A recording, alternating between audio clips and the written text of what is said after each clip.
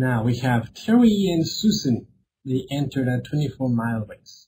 Um, Susan's average rate is 4 miles per hour and Terry's average rate is 6 miles per hour. And they both start running at the same time. Question is, how far will Susan be away from the finish line when Terry crosses the line? So one thing you want to notice first is that indeed this makes sense. Uh, Terry is traveling faster than Susan, so Terry will get there before Susan to the finish line.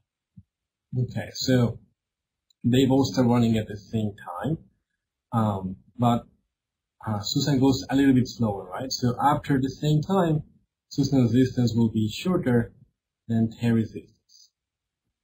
So if Terry finishes uh, the race, so 24 miles, at the same time that Susan finishes the race, uh, we can figure out how much distance Susan has left if we can figure out how much distance she has traveled, right? And to do that, since we know how fast she travels, we just need to know how much time she spent traveling. Okay, so we know Terry uh, runs at 6 miles per hour. So let me call this speed of Terry, 6 miles per hour. And so Terry travels 20 whole, 24 whole miles.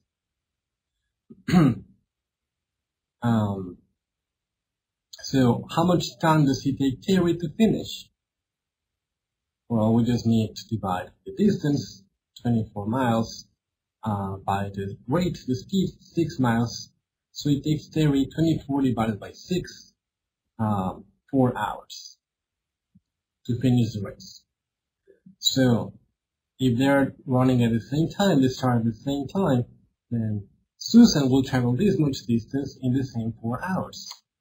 But she travels at a rate of 4 miles per hour, right? So the speed of Susan is 4 miles per hour.